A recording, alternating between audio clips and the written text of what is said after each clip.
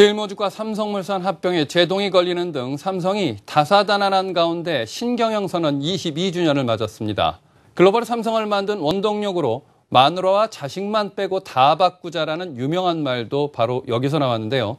삼성은 특집 방송을 편성해 현재 위기를 극복하자며 도전 의지를 불태웠습니다. 신선미 기자입니다.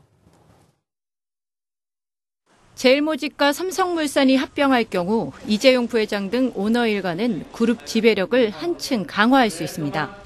하지만 엘리언 매니지먼트가 이 일을 제기하고 나서면서 합병에 제동이 걸렸습니다. 삼성 서울병원에서는 17명의 메르스 감염자가 나왔습니다. 다사다난한 가운데 이건희 삼성전자 회장의 프랑크푸르트 신경영 선언이 22주년을 맞았습니다. 삼성은 특집 방송을 통해 현재 위상과 과거 방식에 안주하지 말자며 22년 전 시작됐던 신경영에 다시 주목해야 한다고 강조했습니다. 현재가 위기 상황이란 판단 아래 새로운 도전 의지를 불태운 겁니다.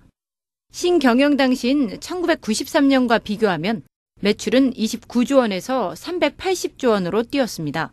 시가총액도 7조 6천억 원에서 지난해 말 기준 340조 원으로 급증했습니다.